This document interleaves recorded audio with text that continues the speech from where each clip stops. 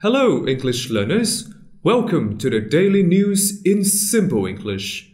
Siberia got a new record of warm temperature last Saturday. It was 38 degrees Celsius. That may sound normal to you and me, but Siberia is called one of the coldest places on Earth. In 1892, its temperature used to drop to minus 68 degrees Celsius but now, temperatures are rising fast, up to 20 degrees Celsius in June. Siberia also had the hottest May since 1979. Scientists said if there weren't climate change, this warm weather would happen every 100,000 years. Because of the warmer weather, wildfires in Siberia have been more numerous and serious.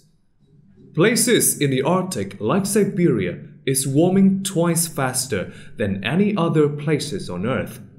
There, snow color is getting darker, so it gets more heat from sunlight and warms the atmosphere.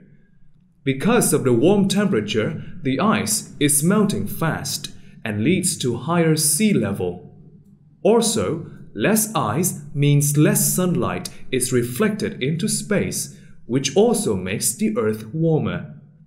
Scientists said that the warming of the Arctic zone can let out 600 million tons of carbon into the air every year.